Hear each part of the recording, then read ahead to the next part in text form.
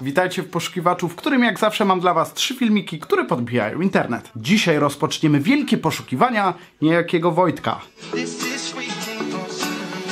Nawet w sobotę z tym nie walczmy, poddajmy się i niech internet nas przysypie.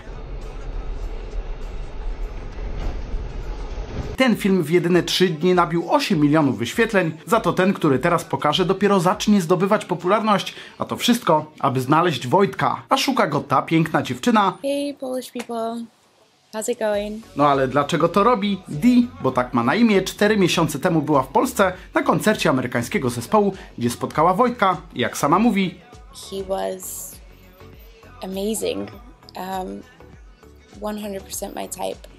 He was tall and dark and handsome. Rozmawiali przez cały koncert, ale niestety wychodząc z tłumem straciła go z oczu, no i ślad po Wojtku zaginął. Nie mogła go znaleźć sama, stąd jej apel, aby pomóc w poszukiwaniach. This is where I need you guys' help. Nie mogła go znaleźć sama, stąd jej apel, aby pomóc w poszukiwaniach. Ta dziewczyna tak go zachwala, że aż sam chciałbym poznać Wojtka. Dlatego zaczynamy poszukiwania. Co o nim wiemy? Był na koncercie 4 miesiące temu, jest wysoki, słodki, zabawny, miał na sobie dżinsy, fajną kurtkę i adidasy. Fakt, skromnie z tymi informacjami, ja od siebie dodam, że Wojtek jest albo głupi, albo ślepy. Popatrzcie na tę dziewczynę. Zrozumiałbym sytuację, gdyby Wojtek szukał Dee, no, chyba, że jest gejem i o tym nie powiedział. Tak czy inaczej, Dee utworzyła maila, gdzie można wysłać wszelkie informacje o Wojtku, a ja coś czuję, że dostanie wiele maili od innych Wojtków. Już sama poinformowała, że przyszło ich 147. Nawet w komentarzach są chętni, aby się w niego zamienić. Teraz mały apel do prawdziwego Wojtka.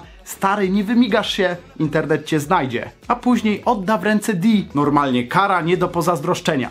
Miracles happen, right? Po tej pięknej historii czas na drugą, tylko że ta ma już szczęśliwe zakończenie. Popatrzcie na 55-letniego Jose Antonio. Jak myślicie, kim on jest? Człowiekiem sukcesu? Hipsterem? Na pewno jego życie jest idealne, a niektóre panie powiedzą, że jak na swój wiek jest całkiem przystojny. Teraz małe zaskoczenie, to bezdomny. Serio, tak się zmienił.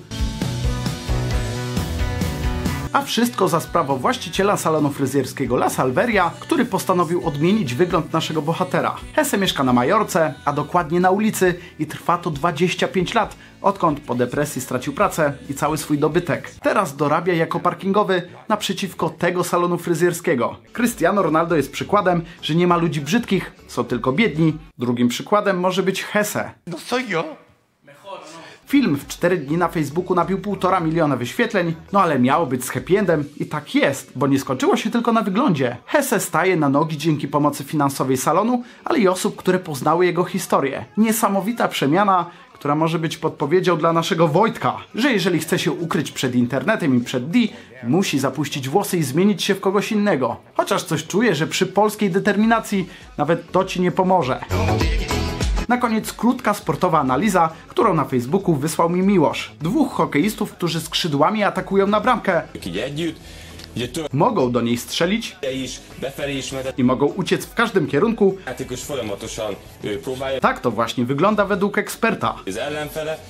Uważam, że to trochę siusiakowa technika, ale Jacek Gmoch lepiej by tego nie rozpracował. Wszystko oczywiście działo się na żywo w rumuńskiej stacji sportowej. Teraz moja krótka analiza dzisiejszych filmów. Jeżeli stracisz pracę i majątek, jest słabo. A jeżeli Wojtek się nie znajdzie lub będzie się ukrywać, wyjdzie na takiego siusiaka. Jak widzicie, pasuje to do wszystkiego.